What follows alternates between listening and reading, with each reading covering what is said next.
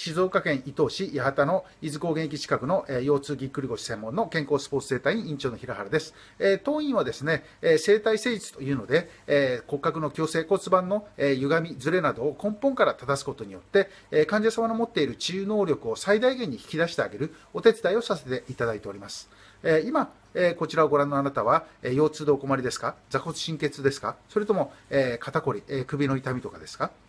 えー、こちらをご覧になっていただいたということは何かしら、えー、体のお悩みお持ちかと思います。えー、体が痛い、重い、辛いっていうのは、え、気持ちも落ち込んでしまいますし、日常生活、仕事上でもすごく不安ですよね。えー、各有私も、え、昔はすごい腰痛持ちで、え、ぎっくり腰も何度も起こしました。え、それを、えー、生体整術というので、え、しっかりと、え、今では克服しております。え、できれば、え、当院の生体整術であなたの健康のお役に立てばと思っております。えー、一度当院のホームページなどもご覧いただいて、えー、ご連絡、えー、ご覧ください。お待ちしております。